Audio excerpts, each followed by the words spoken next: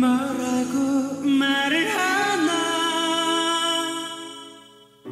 그 사람을 위해서 어떻게 달래주나 울고 있는 나에게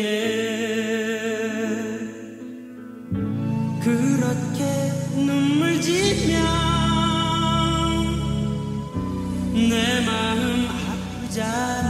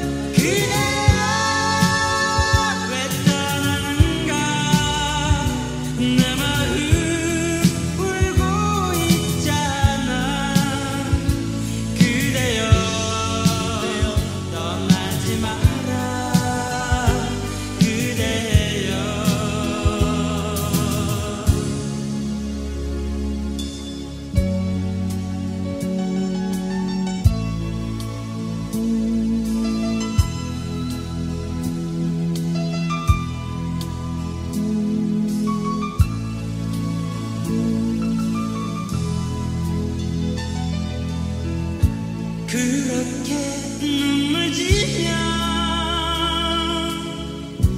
내 마음 아프잖아.